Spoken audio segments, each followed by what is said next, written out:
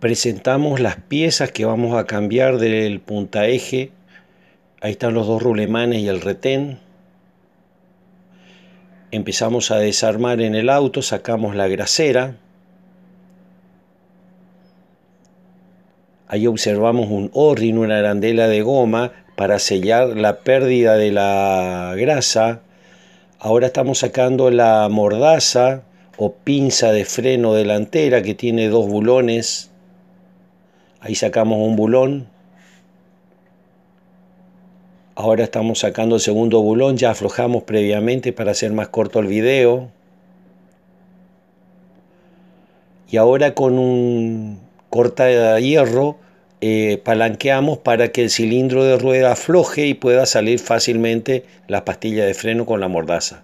Ahora aflojamos la tuerca de la punta eje sacamos completo.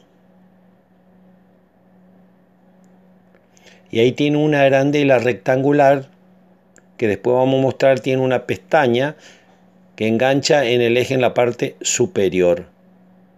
Ahí se ve la pestaña. Eso va para la parte superior Ahí el rulemán sale fácilmente, ese es el rulemán chico que está del lado del frente y del lado de detrás está el rulemán más grande con el retén. Sacamos la masa con el disco y observamos limpio. El rulemán y el retén quedó por la masa y el disco y el punta eje quedó limpio. Ahí observamos una parte y la otra parte donde está el retén. Este es el punta eje. Ahí observamos el punta eje es toda la pieza que marcamos y tiene dos alojamientos. Un alojamiento para el rulemán chico, como indica en este lugar, y otro alojamiento para el rulemán grande, que va en la parte del fondo, y en la parte más atrás está el apoyo del retén, ahí va el retén.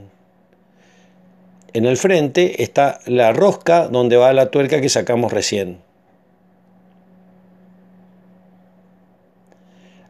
Esa muesca es donde va la arandela rectangular. Ahí observamos otra vez el rulemán chico, va adelante, el rulemán grande va en la parte de atrás y más atrás va el retén. Ahora vamos a colocar el retén y los rulemanes nuevos. Empezamos a sacar el retén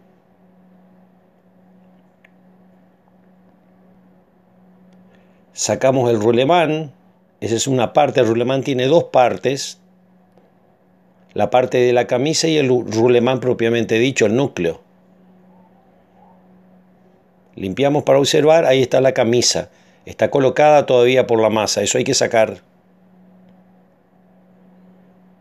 Se ve que está un poco deformado, por eso hacía ruido en el andar. Ahora se golpea para sacar la camisa del lado posterior. Esa sería la camisa del rulemán grande, la que estamos sacando. Se golpea suavemente para no dañar nada. Se recorre toda la circunferencia y ahí está la camisa del rulemán grande.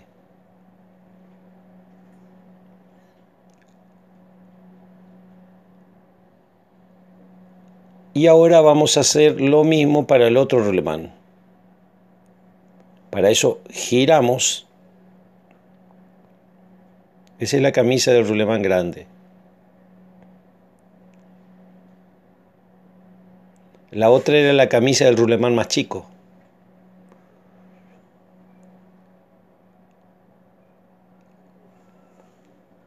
Ahora vamos a colocar el rulemán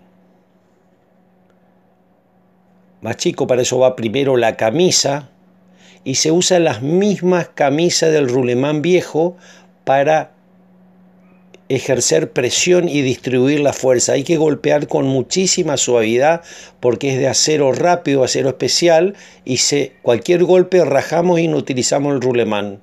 Suavemente hay que golpear y después ayudar con la camisa del rulemán viejo que hemos sacado, siempre con suavidad. Golpes cortos y suave, más bien por vibración ingresa.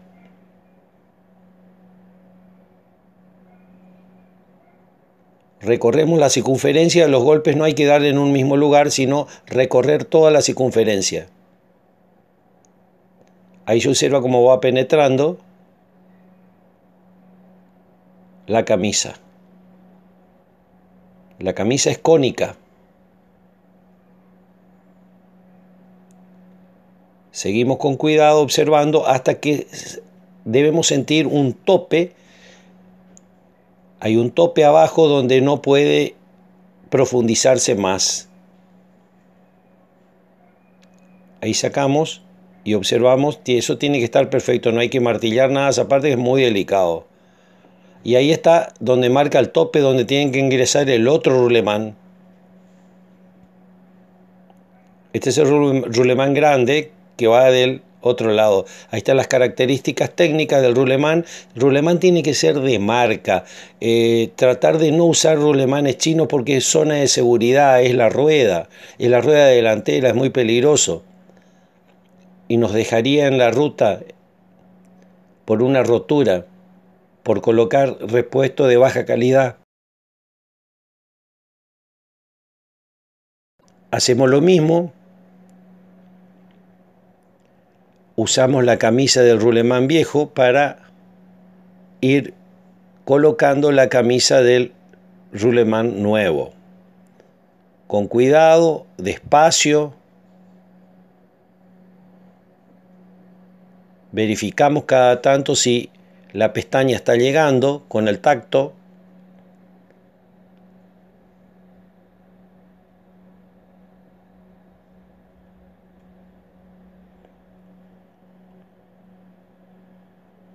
continuamos colocando. Ahora limpiamos, hacemos una limpieza.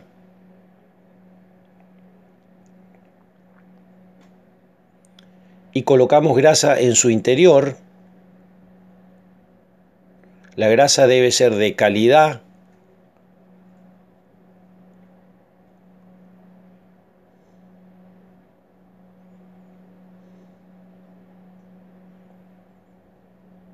Y ahí tenemos el rulemán que engrasamos previamente antes de colocarlo.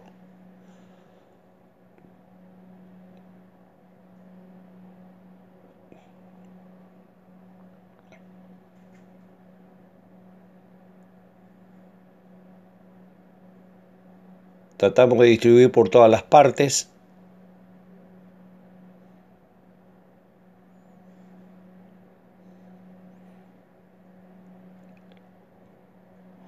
Limpiamos bien y debemos colocar ahora el retén.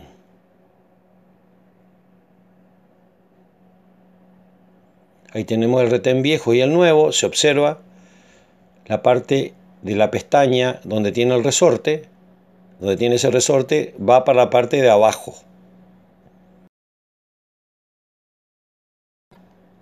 Con la mano ejerciendo presión pareja en toda la vuelta.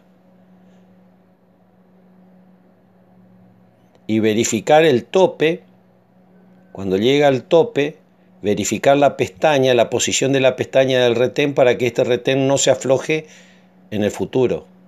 Y ahí verificamos el lugar que tiene que estar, la altura que tiene que tener el retén.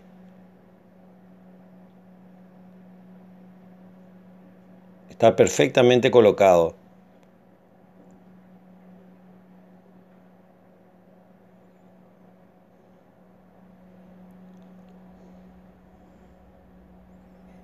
Ahora ya están un rulemán colocado completamente y ahora colocamos el rulemán más chico de la misma manera. Ahí miramos la grasa que es de calidad. Tomamos la grasa y colocamos en la parte interior del otro lado y ahora en el rulemán. Poner suficiente, no mezquinar porque esta grasa cuando toma temperatura se vuelve líquida y lubrica perfectamente los rulemanes. Eso le da la vida al rulemán, durabilidad. De este lado no va retén. De este lado va solo rulemán que va colocado. Después queda apretado con la tuerca, la arandela y la tuerca que vamos a colocar después. Ahora tenemos grasa ahí. Tenemos que limpiar bien el disco porque si vamos, vamos a tener problema de, de freno. Se limpia con mucho cuidado. Igualmente después de colocado se vuelve a limpiar antes de colocar la mordaza de freno. Tiene que estar libre de grasa este disco. Por eso usamos papel, trapo y luego papel para sacar el más alto porcentaje de grasa, dejar limpio.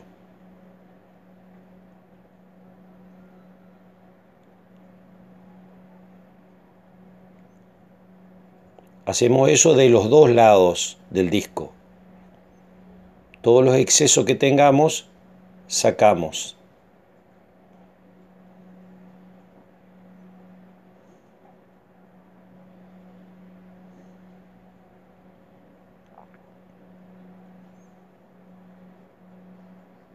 Giramos la masa y hacemos lo mismo del otro lado del disco. Esta es la parte interior donde está el retén. Usamos como solvente nafta para limpiar.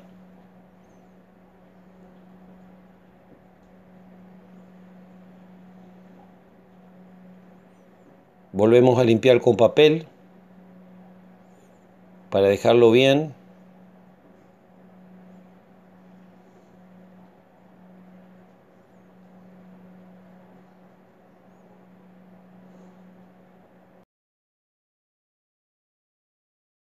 colocación de la masa y el disco.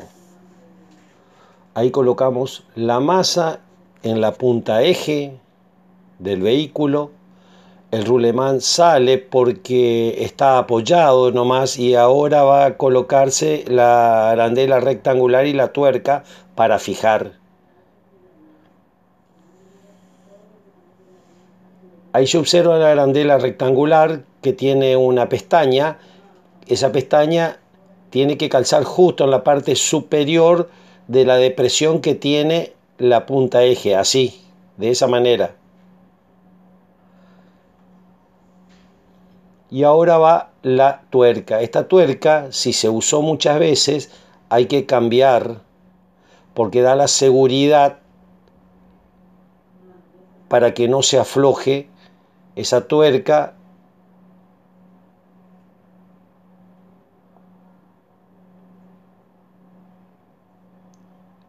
Para colocar esta parte hay que prestar mucha atención porque tiene un procedimiento de ajustar la tuerca, ajustar fuerte la tuerca y cuando no puede más se golpea, se hace vibración con un martillo en, todo el recorrido, en toda la circunferencia, en todo el disco, para que se vaya acomodando el rulemán, porque el rulemán no se acomoda perfectamente en el armado anterior.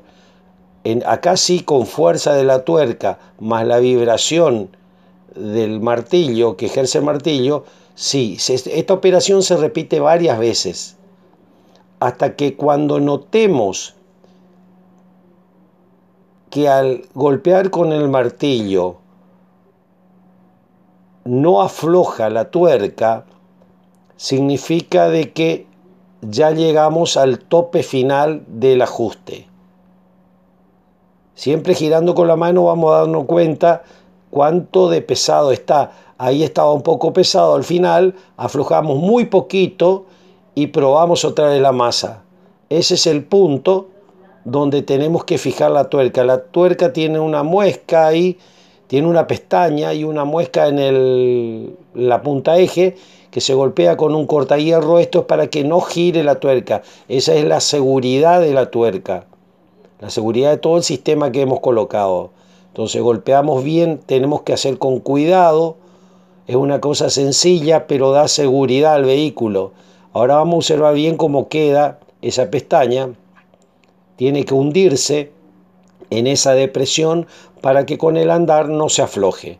Tiene que hacerse de la parte superior y también de la parte inferior de la tuerca. Ahí ya hicimos de la parte superior.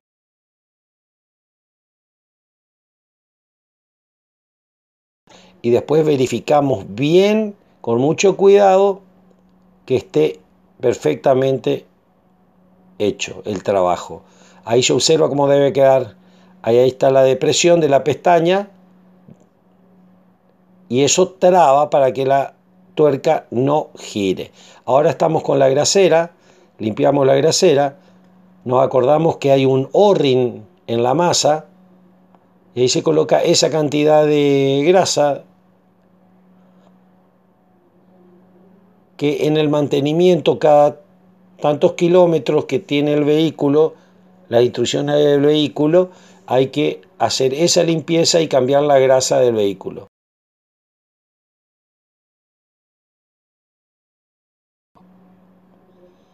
Se golpea con mucha suavidad para que quede a presión. Ahora observamos la colocación de la mordaza de freno y lleva dos bulones. Ahí estamos colocando un bulón. Nos falta colocar el segundo bulón, después ajustar y el trabajo queda terminado.